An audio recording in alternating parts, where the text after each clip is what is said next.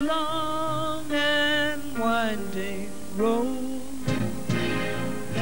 time has come for Eton Road to say their final goodbyes to the remaining X Factor contestants.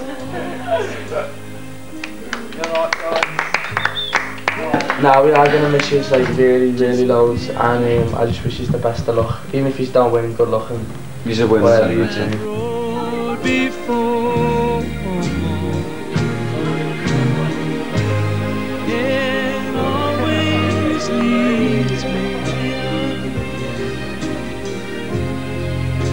me to your door. It's absolutely heartbreaking to see the guys go. We've um, we've been through like such a journey together as um, as groups, like from boot camp all the way to to this stage, and um, it's just really a shame to see the guys go. I'm going to miss them greatly.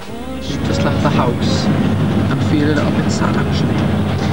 Um, because that's the part of your life that you leave and now. And it's been a part of our life for three months, so it's sad really. They brought such fun and laughter and energy and just it's it's going to be really really quiet now. I'm just really going to miss them. It's like we've been this been like six, seven months of our life with these guys, and it's like I mean, we've got so close to the guys. They're our best mates in the whole house. it's like a family and you just get it's like really close knit and to like you know be broke away from that it's like that quick that sudden it's just like it is heartbreaking like feel a bit sad. So um, I know that they're going to have a great career now.